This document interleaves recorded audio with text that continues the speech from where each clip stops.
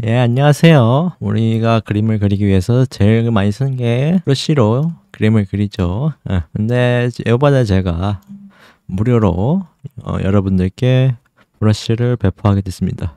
뭐 저도 사실 이 브러쉬를 아마 포토샵 예, 기본 브러쉬를 가져와서 글투로 그다음에 거기서 변형을 약간 해가지고 지금 쓰는 것인데 느낌이 참 좋아요. 아직도 여러 가지 쓰고 있고 재질 표현도 어, 금속부터 뭐 여러 가지 다 되는 편이고요. 그래서 한번 봅시다. 예, 예, 첫 번째 브러쉬 다운로드 방법은 제 디스코드 채널에 자료실에 올려놓은 브러쉬를 다운받으시는 방법입니다. 네, 제 디스코드 서버에 아, 처음에 이제 들어가시면은 이거는 유튜브 하단에 댓글에 제가 링크를 남겨놓겠습니다. 제 디스코드 채널 링크를 들어오셔서 그래서 자료실을 들어가셔서 맨 위에 보시면 자료실에 맨 위에 보시면 제가 자주 사용하는 브러쉬 메인 브러쉬 해가지고 이거를 다운 받으시면 됩니다. 요게 제 시나 브러쉬 주력 브러쉬입니다. 클립 스튜디오에 처음 가시면 이런 화면이 보이실 텐데 그래서 왼쪽에 소재 찾기 서비스 탭에 소재 찾기 들어가시면 이런 목록이 나옵니다. 네, 이런 목록이 나오죠. 여기에 시나 그림 치셔도 치셔도 나오고 여기다가 시나 그림 치셔도 나오고요. 시나 브러쉬에서 나오죠 왼쪽에. 그리고 요번에는 이게 인기가 좀 좋아져서 랭킹에 올라가가지고 이제 촬영 직후는 지금 한 20위권에 있던데 여기 랭킹의 무료 쪽에 탭 봐서 더보기란 눌러보시면 지금 현재 한 20, 예, 6위에 있네요. 예, 시나 브러쉬 26위 에서 들어가 보시면은 예, 제가 그린 네크로맨서 엘프죠. 음. 그래서 주력으로 제가 사용하는 브러쉬를 여기다가 이렇게 다운로드가 있으실 겁니다. 이런 식으로 필압 조절되고 아즈링처럼 꼬불꼬불 편도 되고 힘을 풀었다 줬다 풀었다 줬다 음, 이런 게 돼야 됩니다.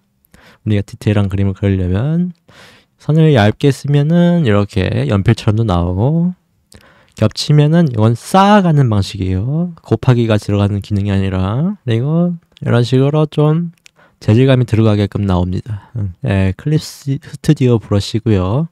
색상은 안 섞입니다. 보시다시피 섞이지 않고 덮어서, 덮어서 쌓는 느낌. 스케치, 채색 모두 가능한 만능 브러쉬. 음.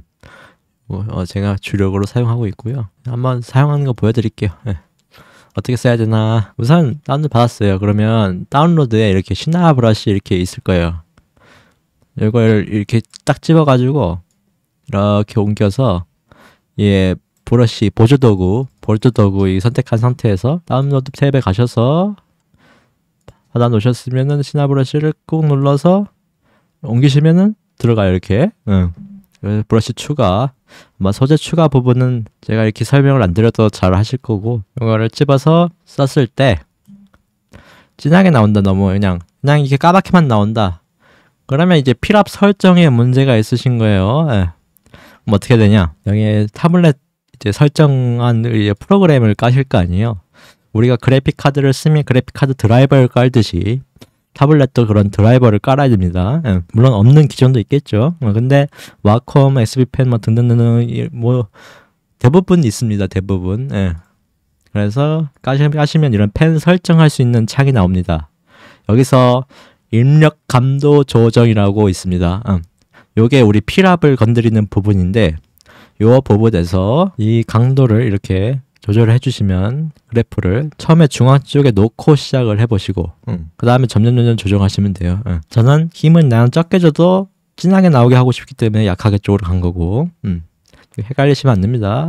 버전 저 같은 버튼 눌러서 저장해주고 그랬는데도 여기서 만약에 진하게 나온다. 내가 원하는 대로 안 나온다. 이렇게 연하게 안 나온다. 이렇게 연하게 안 나온다.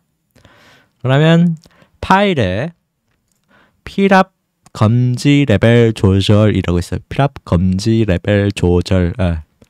들어가시면 이런 그래프가 보이실 건데 여기 혹시 안 보이신다면 필압 그래프 표시해서 이걸 체크를 해보시면 그래프가 보이실 겁니다. 저처럼 이런 그래프는 아닐 거고 처음에 그래프가 없을 건데 여기서 바탕화면 쪽에 여기를 흰색 쪽에 바탕화면 쪽에 이렇게 선을 꺼보면은 그래프가 움직이는 걸 보실 수가 있을 거예요. 예. 그러면 이렇게 해서 최대한 내가 힘을 힘을 적게 준 상태에서 힘을 줬다 풀었다 줬다 풀었다 줬다 풀었다 해보시면 어느 어느 정도 그래프가 형성이 되실 거거든요. 뭐 대충 그래프 모양이 사선형에 가깝게 이렇게 올라갔다가 이렇게 올라갔다가 이렇게 가는 느낌의 그래프가 나오면은 거의 대부분 어, 쓸만하실 거예요. 어. 그래서 이런 거를 내가 조절을 잘 하셔가지고 내 손에 맞을 때까지 조정 결과를 계속 바꾸시면서 조정 결과 확인하고 또 완료 누르면 되거든요. 저는 근데 제 설정을 지금 바꿀 수가 없기 때문에 닫아 주겠습니다. 그래서 필압 감지 레벨까지 이제 조절을 하셔가지고 사용하시면 된다. 네. 그러면 이제 이런 식으로 연하게 점점 점점 힘 주면 힘 더 주고 힘 더 주고 힘 더 주고 점점 점점 진하게 만들 수가 있죠. 그죠? 연해 연했다가 진하게 이게 조절이 되셔야 됩니다. 어. 요 아지랭이 같은 것도 힘을 줬다 풀었다 이게 돼야 돼요. 어.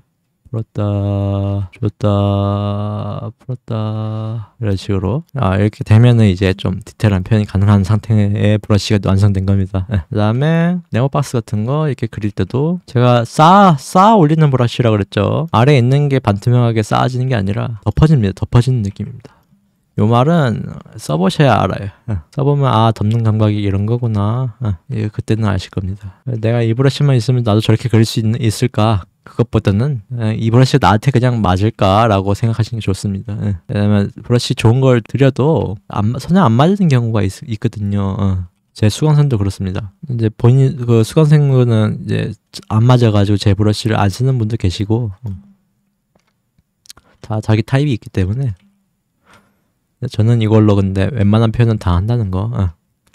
그리고 다 된, 되는 브러쉬고. 응. 그래가지고 한번 여러분들 맞는다 그러면 그건 행운인 거죠. 예. 약간 브러쉬는 보물 찾기 비슷해요. 응.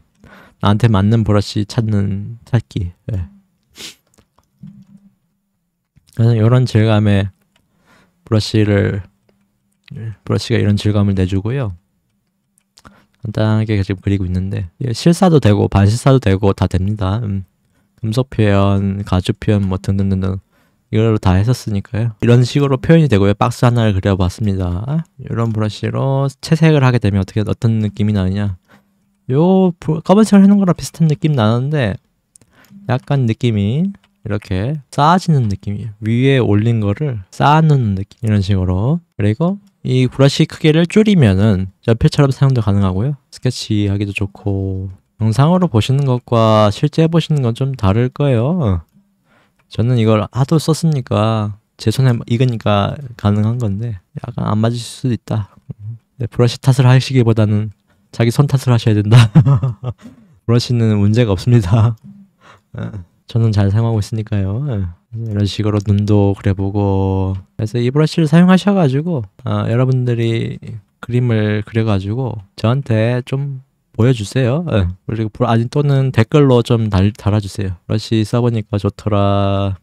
아니면 이 브러쉬로 하니까 뭐 안 되던 표현이 되더라. 이런 걸 좀 댓글로 남겨주시면은 저도 좀 힘이 나죠. 예. 그래도 시청자 수가 그래도 제가 영상을 많이 안 올려서 조금 찔끔찔끔씩 늘고 있긴 한데 그래도 500명 가까이 지금 지금 달성하려고 아, 하는 중이니까 아, 497명입니다 지금 현재 아유 구독자 여러분들 감사합니다 근데 1000명이 돼야 뭘 할 텐데 예, 뭐 1000명 되면 또 만 명이 목표고 그러겠죠 어.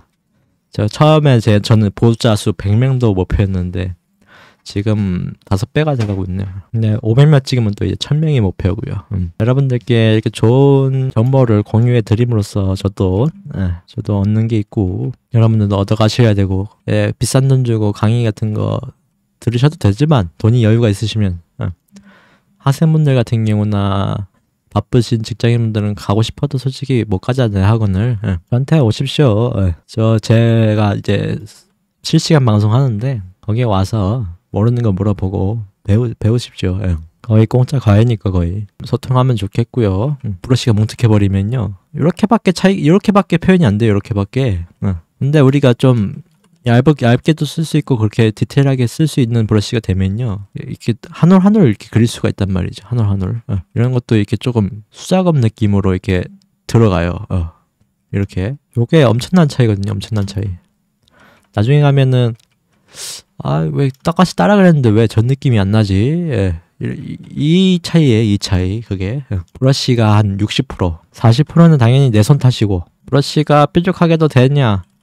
넓게도 되냐 다양하게 표현할 수 있느냐에 따라서 표현력이 달라져요. 여러분들도 이렇게 다양한 브러쉬를 써보시면서 맞는 걸 찾으시길 바랍니다. 어, 오늘은 브러쉬에 대한 설명이었고 어, 여러분들도 맞는 브러쉬를 찾으셔서 사용해 보시고 댓글도 한번 나, 남겨주시고 예, 그러셨으면 좋겠습니다. 예, 오늘은 여기까지 하겠습니다. 다들 감사합니다. 구독, 좋아요 한 번씩 눌러주세요. 바이바이.